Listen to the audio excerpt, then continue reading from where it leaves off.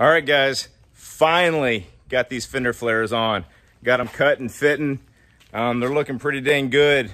We're gonna dive into this video, show you guys exactly how we made that happen. Um, but in the meantime, well, excuse the mess in the garage, but got some aftermarket headlights, front and rear bumper. Um, and then look at that. We're gonna do the 2011, 2016 front end conversion. So let's get after it.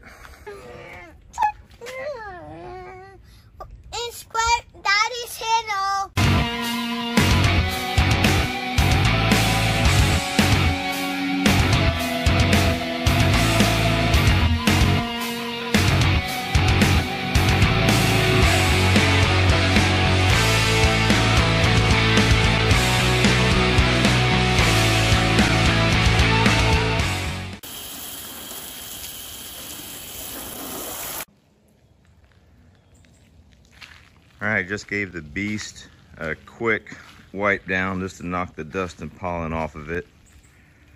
Um, the reason is I'm undecided if I want to do these fender flares or not. So I want to get some before and after shots. Uh, I'm going to mock up these rear fender flares. So here's kind of how it sits without. And these tires are 35 1250s and I really like how they sit in the fender fender wells. You know they're right at kind of the edge. So my fear is if I go with fender flares I'm gonna have to upsize the tires which was I was getting new tires and wheels anyway so it's the right time to do it. I just haven't decided if I like the stock look or if I'm gonna like the fender flare look. But we'll give it a look see here. We'll check it out here in just a minute.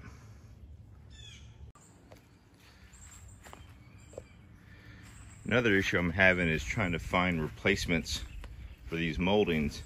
As you can see here, I don't have one here. This was just painted. Um, I had this done just about two years ago. I can't find a replacement piece for this guy, so when you're a long ways away, it looks fine but even you know all of these are starting to let go. So and finding i can i can obviously just you know re-glue that one down re-tape that one down but it's finding the replacement for this has been impossible. So i'm thinking when the truck gets repainted those may just be gone. And plus i'm gonna have to remove them to install the fender flares right now anyway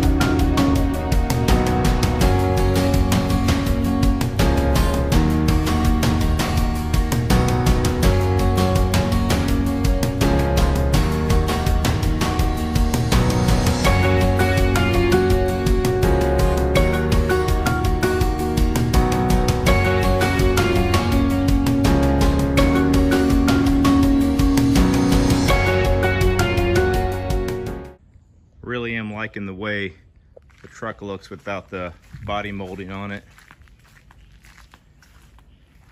So these fender flares are obviously for a 99 to 05 Super Duty.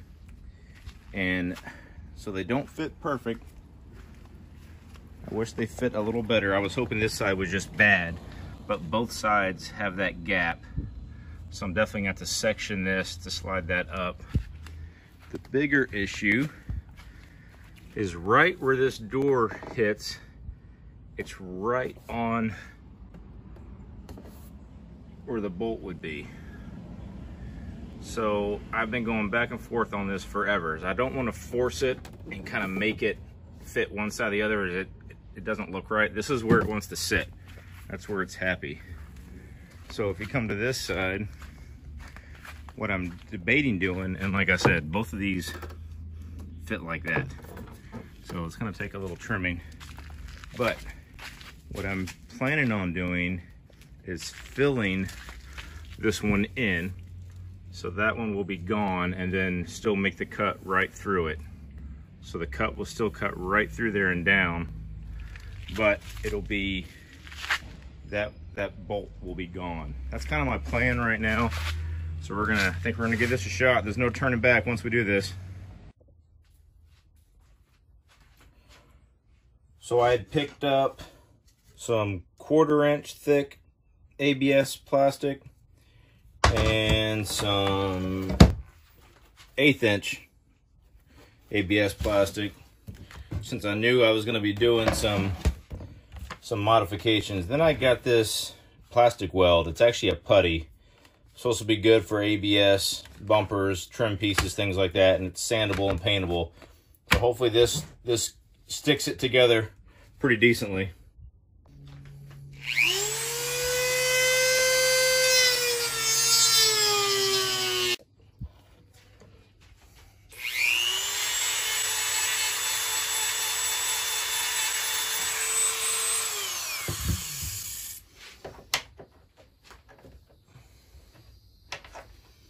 All right, so been doing some grinding and filing, so I got it cut at an angle there. And then the same thing, kind of around. Fits in there pretty good now. So it's sitting in there really nice. It's a nice plug. As you can see, there's still a gap up here. So I'm actually gonna take some of the eighth inch and glue that to the top of this and just fill in this gap. Sorry, fill in this gap a little bit more. So I took the tape off the top just to mark it on this eighth inch piece. The sides that the two ABS pieces are going to be joined together, scuffed them up with some 80 grit so they have some good good tooth for the for the bonding.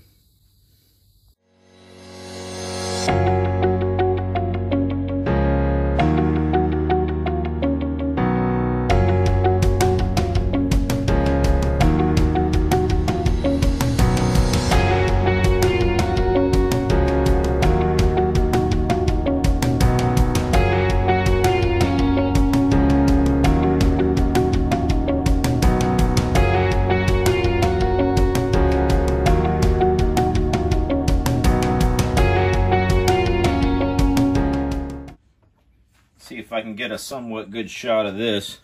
So I've kind of sanded it down, cleaned it up.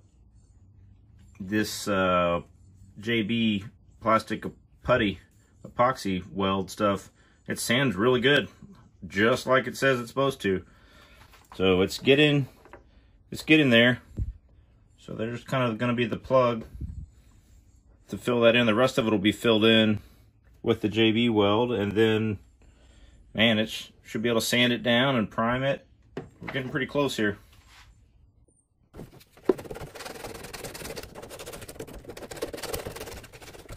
All right, I got the the plug all scuffed up on all sides.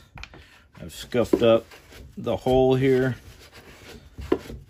So we should have plenty of tooth here for this this putty to, to hold.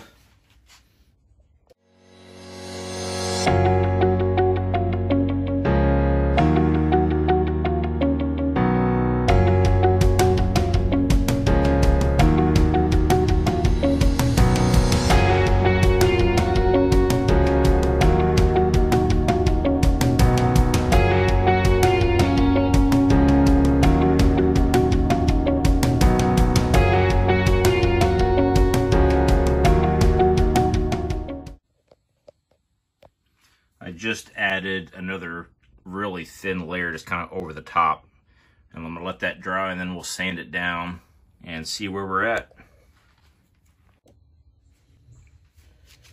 All right, so it's been setting, it's all cured. Just got some 120 grit sandpaper here to kind of see if we can smooth this out a little bit, see where the low spots are at.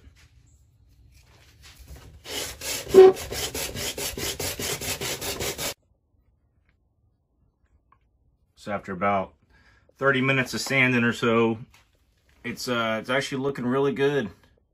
Come on, zoom focus right there.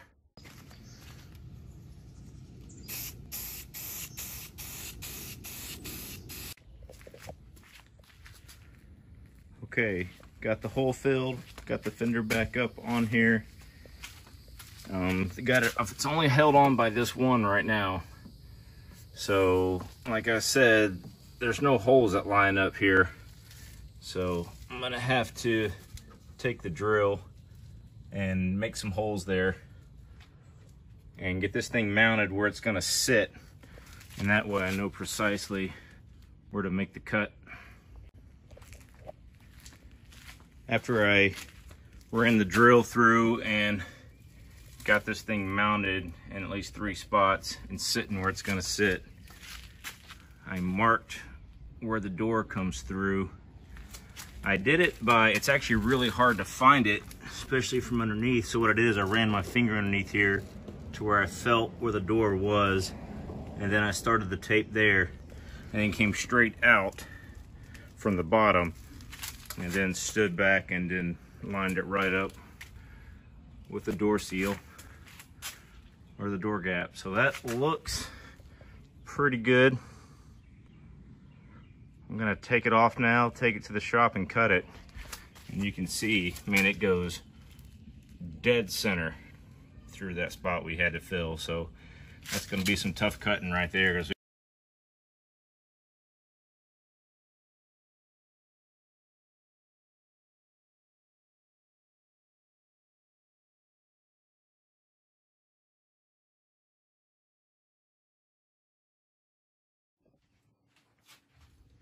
All right, so we got it. Nothing like taking a brand new fender flare and, and cutting it up. So, yeah, you can see the, that's the part that we filled earlier. Got some gunk on, but you can see the different layers. That's kind of neat. That worked really good. Um, and here it is on this side. That's the one that we filled. And then we'll just clean all this up here and we'll go do a little test fit. trimmed just a another eighth of an inch or so off and man she's looking good now. So there we go. Now I'm going to take the eighth inch thick ABS and fill this gap with it. That's my plan. So I simply used this piece right here to match, to get the body curve. And once I cut that out, I'll put it up there and I'll trace the, the outside. Got it fitting good, just lots of little cutting and trimming and sanding and making sure it's sitting right. And then I just held it up against there and marked off the back side of it.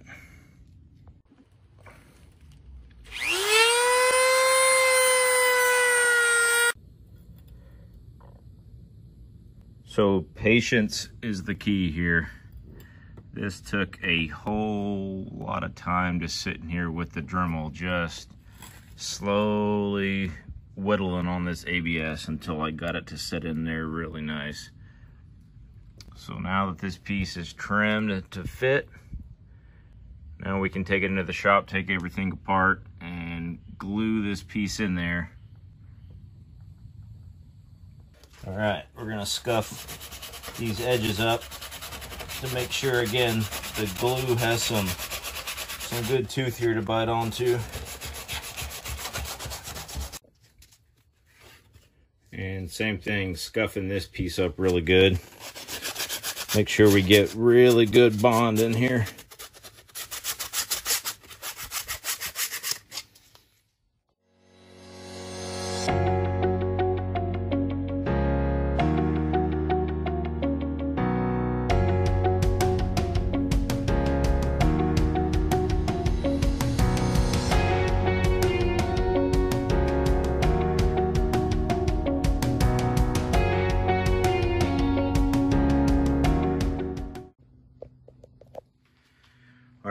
This glued in now.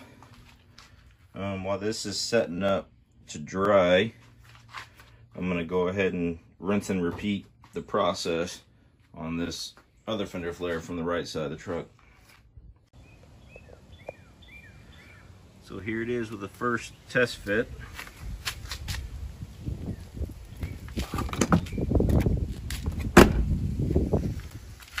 And again, lines up really nice here at the top. Down at the bottom, it starts to get off a little bit, but this isn't bolted in. So once I secure that, we should be sitting really good. All right, before I work on the front half of that, I want to get this thing sitting right. As you can see, there's a big gap and then it hits right here and then again the big gap down here. So first thing I'm going to do is I marked where it's hitting. I'm going to clean some of this up, remove some material to get it to sit hopefully in a little bit tighter there and then we'll work on closing this gap up. So I've already decreased the gap by more than half. So it's just process of taking it on and off, mark where it's hitting, take a little bit off, mount back up. Mark where it's hitting, take a little bit off, mount it back up. So I do suggest though, if you're not getting your vehicle painted, put some painter's tape all along the side of your vehicle because taking these things on and off, it's definitely uh, of course, I can't even see them right now. It's definitely scuffing the paint.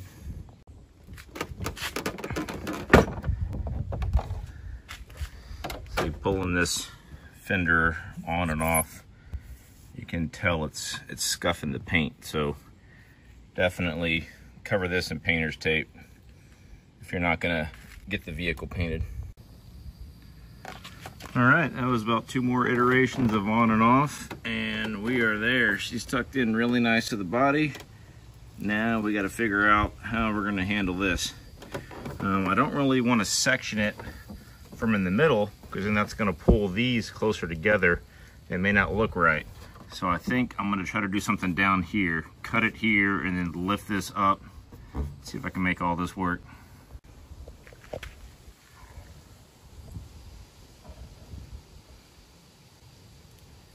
So what I did is I took that same striping tape and I just lined it up. Can see the body panel right there sticking right below the tape on the left hand side and step back and try to draw a straight line to where it lines up with the body panel on the back side. So the thought is I'm gonna cut on the bottom side of this tape and then hopefully we can basically take this piece and slide it up and make this bottom right there.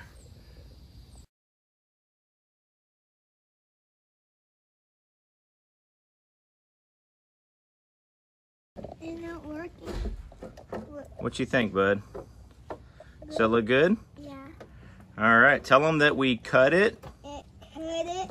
and then this line, we're gonna cut it again right here, right? Again. Yeah. And then we're gonna see if we can make this, bo glue this bottom piece onto here, right? Onto here. Right. And then maybe it'll work. Maybe it work. You think it's gonna work? Yeah. All right, let's give it a shot.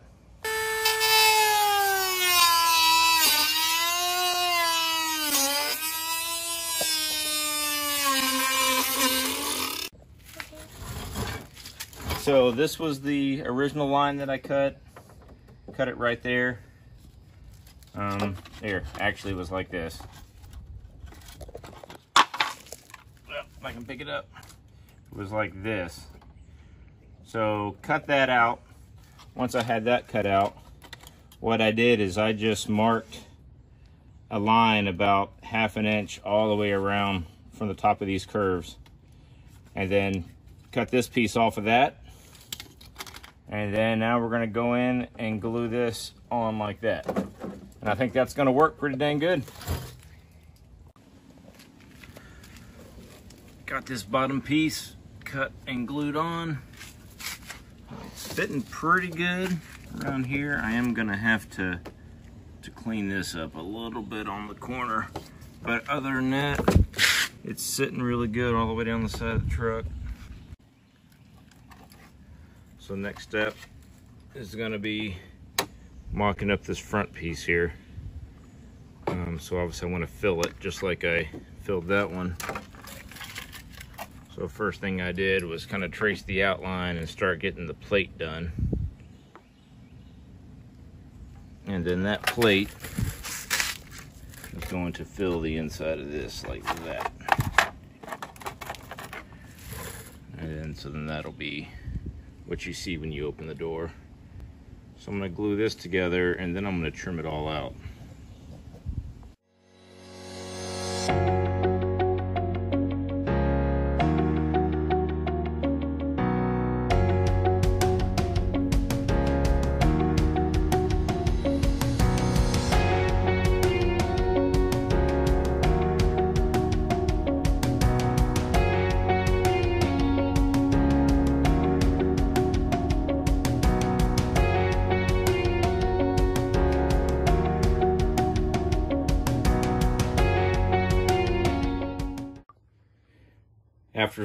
Some dremeling and a little bit of sanding, we got her all cleaned up. So guys, this is the plastic weld adhesive I've been using. Uh, it's the sandable, paintable JB Weld stuff. Um, but this is the putty form. And I tell you what, what's difficult about the putty stuff is that once you mix it, it's hard to smear and it after just like a minute or two, it starts getting so tough that it's hard to really get into places. So as you can see, I'm trying to figure out how to show this. You can see how dry it was getting when I was adding it here. Even though I was trying to smash it in and work it in with my finger, it still did not bond very good down here. Now the rest of this, where it was fresh, and you can't get that apart at all. But down here, it's starting to come apart. So what I'm doing is I ran down and got some of this. Um, it's a two-part epoxy, um, so it's liquid form, obviously. And I'm going to try to clean some of this out, and I'm going to give this a shot and see what I think about it, see if it holds this stuff a lot better. So I'm going to sand again all in here, rough all this up again really good before I try this.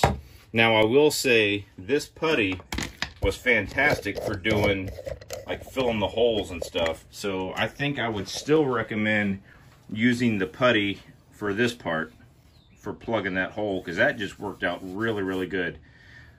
Um, but we'll see if I like this better for gluing the other sections together. And then if this works, that's how I'm going to do that other fender. And then we'll give it a shot.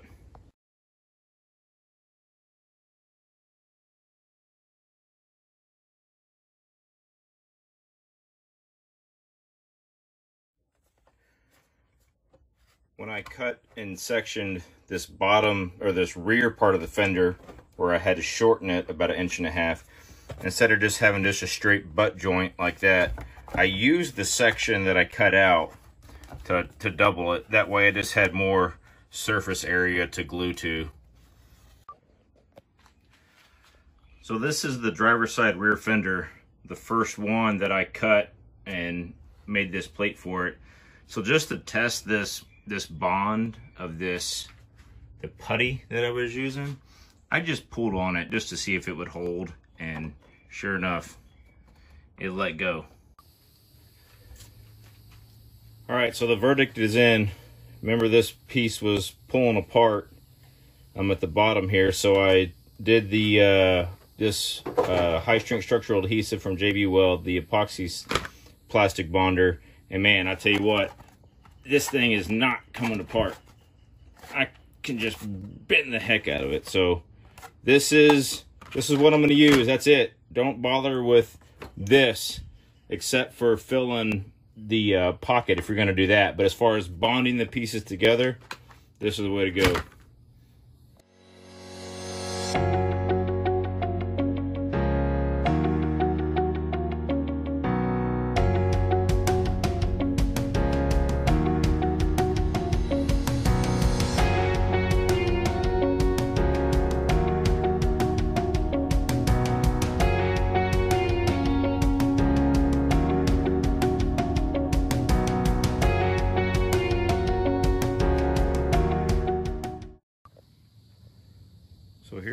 First look at what it's gonna look like mounted up. Obviously the Bondo is, is pink, so that kind of sticks out a lot right now. But you can, if you match these arcs up, they're, they're at the right height, but it's gonna, you know, it's almost like a flat spot for three quarters of an inch right there. But you look at it from the side, I mean, it looks, it looks good. It's just, this piece right here is just, is just taped into place, but that's where it would, it's gonna sit once I figure out how to mount them. But if you follow these arcs, if I can get it in the camera, I mean, they are lined up. I think that's how it's gonna sit. And if you remember that one pocket, that one bolt hole like that right here was, was right here. All right, now, last thing is to figure out how to mount this front piece. And then we can finish the rest of the body work.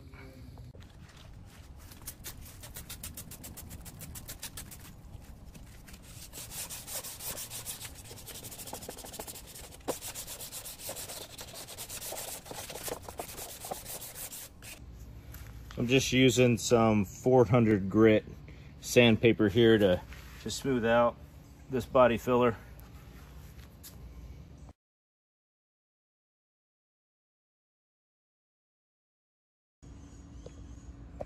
see if I can get in here close. Overall, it looks really good. There's a few little pinholes right there. I think you can see, and that's on the, the front side. And then on the top, I think I just didn't sand very, I didn't sand good enough up here, good enough, uh, better. I should have sanded better. So I'm gonna probably fill those pinholes again on the side and then hit this again with some sandpaper and hopefully finish that off. But the rest of it, actually looks really good. Just knocked out the body filler Bondo on this front piece. Just put it on there, so I'll let it dry and then we'll sand this down and get it primed in. All right, trying to figure out how to mount this front piece that's on here. So I'm just holding it in place now, but here's my plan. So I think what I'm going to do is use this lip that's right here to put rivets through. Um, so I bought this eighth inch aluminum and I'm gonna bend 90s in it and basically put a 90 on the back side. So one side of the 90 will be riveted to here.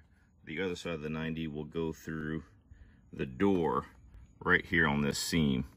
So I plan to do, you know, one up top, one down here towards the bottom, and then probably one along this bottom edge right here to capture the bottom of this thing.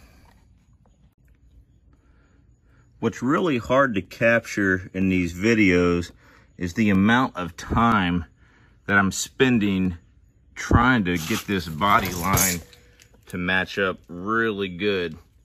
And I know the molding that you get, you know, that goes in between the fender flare and the and the body should help correct any of the imperfections, but still it just just taking like thousandths off at a time and just trying to really tighten up these gaps takes a extremely extremely long amount of time.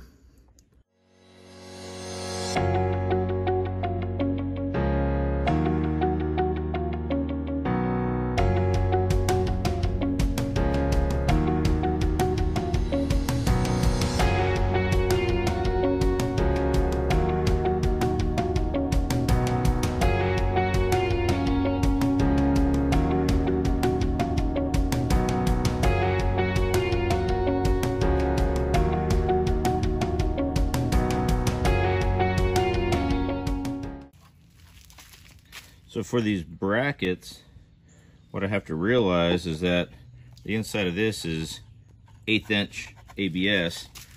So I'm gonna have to offset the bracket an eighth of an inch to ensure that the outside of the ABS will uh, be flush with this this door. So the problem is you start running out of room. If I set that off an eighth of an inch, and now I don't have much room to drill through the backside here on this lip. But it's just enough, but it's gonna be tight. All right, so this is kind of the thought. Rivet from these two to the door, and then this will be riveted to that eighth inch ABS and one there, one up here towards the top, and I think we'll be good.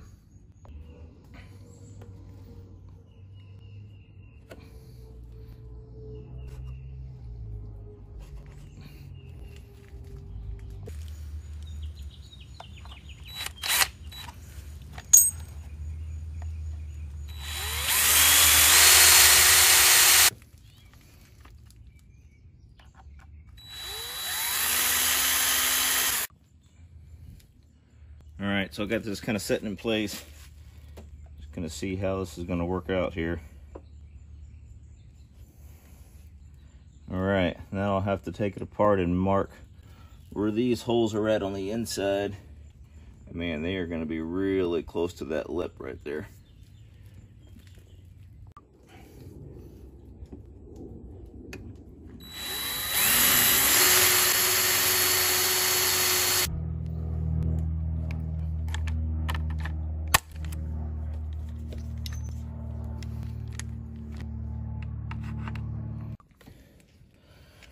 All right, I'm gonna put one rivet on each side just for test fitting purposes, just to make sure everything's gonna work.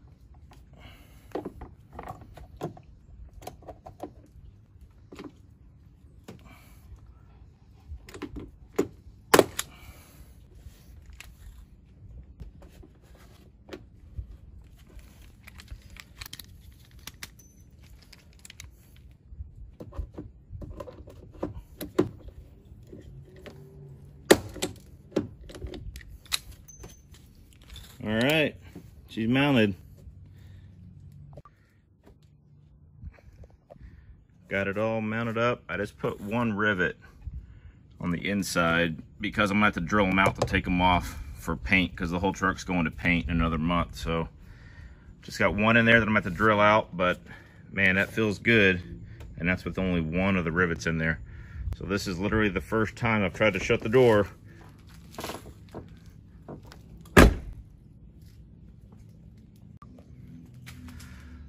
All right, well, that looks like complete crap. I'm gonna try to adjust the brackets a little bit, see if I can get this body line, these uh, this door gap to match correctly. It looks about the way it should look at the bottom. Maybe a little wide at the bottom, but it's definitely too narrow at the top. All right, so after just about five minutes of finagling with the brackets, just tweaking them just a touch, man, that looks that looks like how it should look there.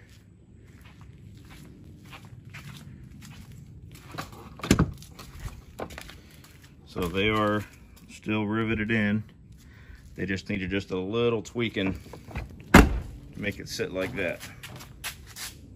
Now, the only thing I'm slightly don't like is that it, man, I'm sure you'd have to really be looking at it, but there is like a, maybe a quarter of an inch where this one sits in just a little bit further.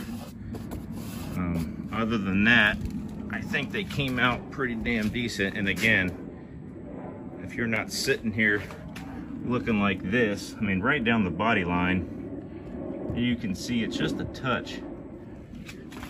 And it looks like there's a gap right here, really, but when you look at the the arcs, these arcs all line up. So that's how she's sitting and that's how it's gonna stay. There it is.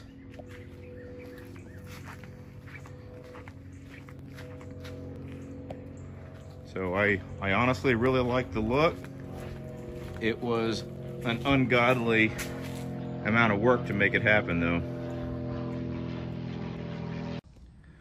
All right, so finally we have got the rear fender flares mocked up on the truck. So obviously, I'm not gonna do the the rubber molding that's gonna really clean it up or the stainless steel uh, bolts until the truck gets painted. So until until the fender flares get painted. So there we go.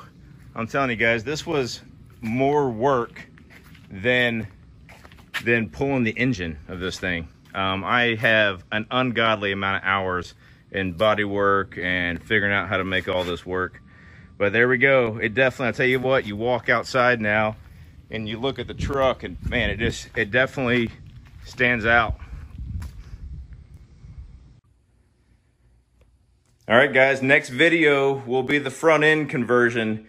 And as you can see, I didn't go with stock 1116 bumpers or the stock 11 to 16 headlights. So in the rear bumpers back there in that box, we've got the fenders, we've got the grill in there, the grill upper and lower support brackets. Next video, guys, we're gonna dig in and start getting this front end conversion knocked out.